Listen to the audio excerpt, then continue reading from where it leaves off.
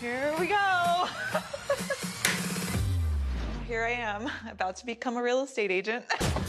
Oh, Kendra, the door's over here. Oh my God. This is every day, every night. You're not going to have a life.